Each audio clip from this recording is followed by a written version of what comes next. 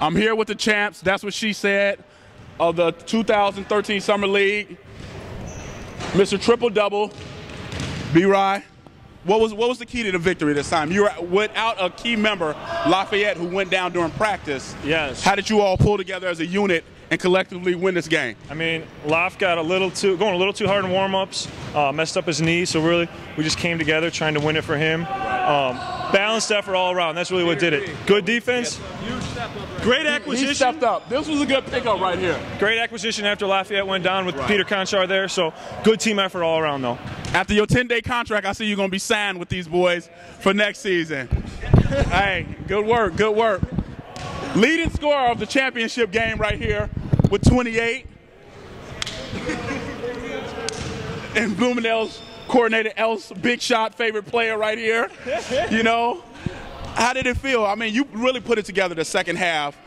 Um, Mr. Triple Double was just hitting you with assist after assist, and your shot finally started falling, which actually made a difference in the second half. What went through your mind?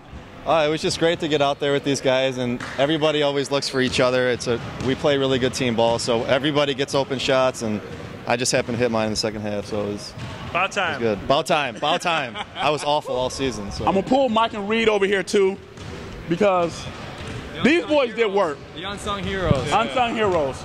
You know. You guys were making great cuts to the baskets, laying up against a bigger unit, and I mean finishing against like six foot six guys. So Uh, Reed's always finding his way to the basket. Yeah, just gotta go up there, try not to get blocked. Just try to throw it up there over their hands. Right. You just can't be scared when someone's bigger in there. You still gotta take it to the hoop, be aggressive. that's right. He said hit the weight room too. Yeah. That's that's why they get down there and do work. You know what? Congratulations, guys. And I have to say, two-time MVP of the league, Mr. Triple Double, right here. You know, does work. So this is a shout out from Bloomingdale, Illinois, Ultimate Hoops. That's what she said. Champions, baby. Woo!